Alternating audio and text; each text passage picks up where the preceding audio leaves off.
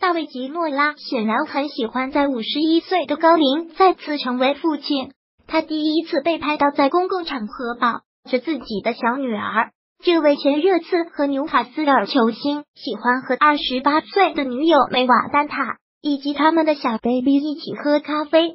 吉诺拉穿着蓝色衬衫搭配整体的牛仔裤，他看起来很放松，而女友则穿着海军蓝运动服。这位法国人看上去和以往一样快乐，就像他们三个现在伦敦度过愉快的一天一样。看似抱孩子这样简单的动作。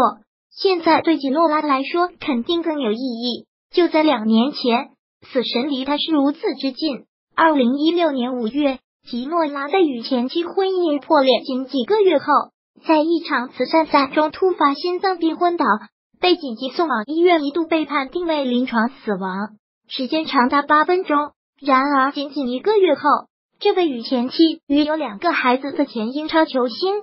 就宣布他正在与比自己年龄小二十三岁的女友梅娃约会，他们的爱情结晶在今年二月出生了。当时吉诺拉兴奋的在推特上写道：“我现在欣喜若狂，非常开心，我刚刚成为一个非常漂亮的小女孩的父亲。”